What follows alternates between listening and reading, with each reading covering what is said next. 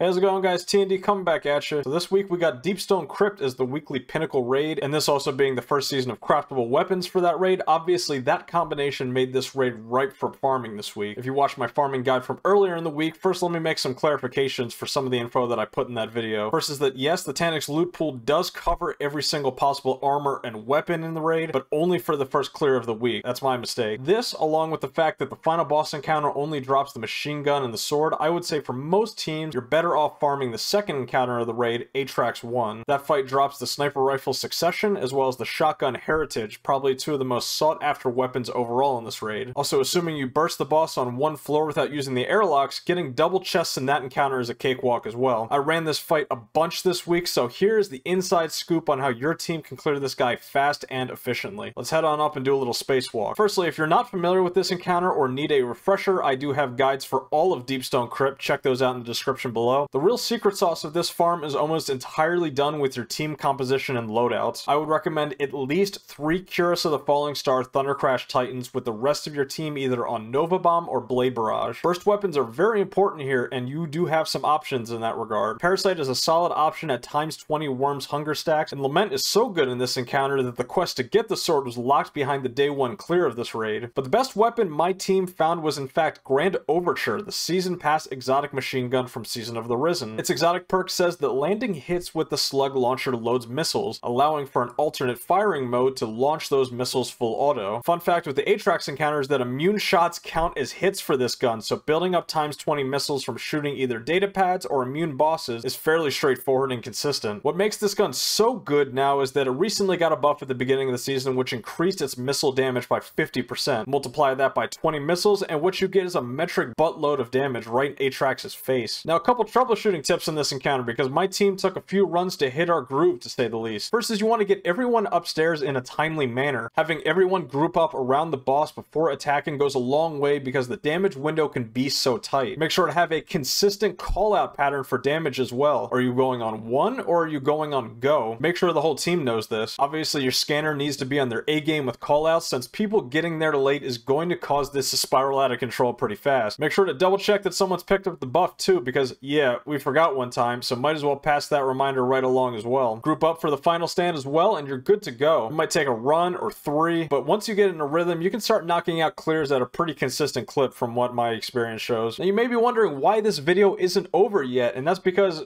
well, we, we gotta talk about these red border drop rates. Now, my team did about 30 clears over the course of two evenings, and I gotta say, these numbers aren't great. Even with the double chests, we were getting, I don't know, maybe one red border on the entire team per run Not great. So I did some digging to see if this was particularly bad RNG on our part, and what I found was actually even more depressing. Shout out to Chevy on Twitter for doing the dirty work here, as his team completed 50 runs with the challenge, resulting in 600 loot drops that could have been red borders. How many did they end up getting? 29 in total for a going rate of 4.8%. Chevy himself got three red border drops total in 50 runs. So with all this information in mind, yeah, you could go farm an encounter for like 12 hours and probably get all all your patterns done. This is a looter game, and I ain't here to tell you how and where to do your grinding. That being said, for the sake of sanity, I think the most efficient way to get the red borders in this raid is just have someone grab a Taniks CP every week, buy the free red border from the final chest. Yes, it's slower overall, but honestly, there's a lot of other stuff I'd rather be doing this season. Just take out Big Floaty here once a week and get on with your life. You'll have those weapons crafted in no time. So those are my thoughts on Deepstone Crypt weapon farming. I do have another farming video coming next week on the coveted Ikelos weapons, since I know most of y'all want to get your hands on that SMG like yesterday. I got you. Make sure to subscribe to my channel to catch all of my latest Destiny content, and I'll catch you guys in the next one. Happy hunting, Guardians.